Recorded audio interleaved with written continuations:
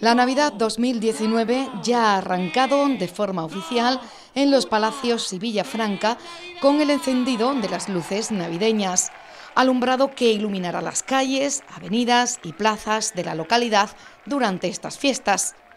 El acto que se celebró ayer tarde en la Plaza de España contó con las actuaciones del coro de campanilleros Los Niños de Belén y la zambomba Esencia Flamenca en Navidad. El encendido de las luces de Navidad en los Palacios y Villafranca es un evento que se suma a la larga lista de actividades que desde la Delegación Municipal de Festejos, junto a hermandades y asociaciones, ha preparado para disfrute de los vecinos y vecinas y que concluirán el día 6 de enero. También desde ayer está en funcionamiento el tradicional tren de la Navidad.